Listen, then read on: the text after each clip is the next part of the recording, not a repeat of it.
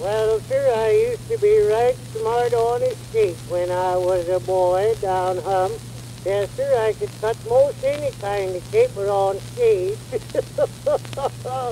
Gosh, I could outskate any feller on our pond. Well, I got down here to New York and was looking around and I see the sign what said skating and I allowed I'd go in and have a skate. Well, I got on the inside and feller come up to me he says, can you skate? I said, well, I calculate is how I can.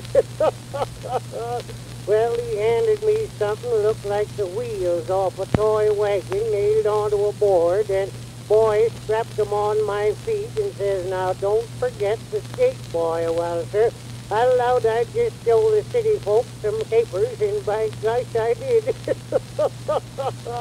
First thing I calculated on doing was a two-step, and I done it two steps, that was all.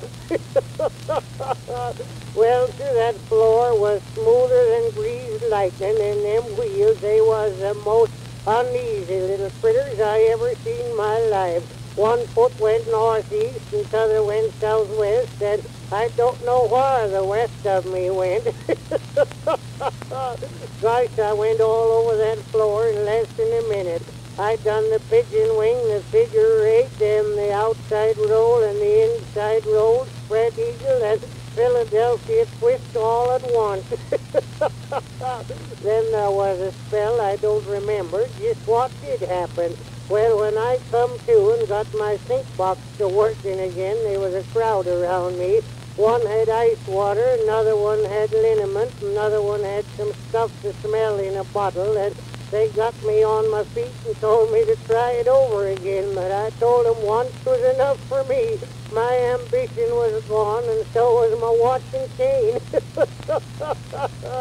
well, I got on the outside, and the first thing that I seen was a feller falling all over the sidewalk, and I said to a gentleman, What's the matter with him? He said, Well, he's got a skate on it. My gosh, I think he did.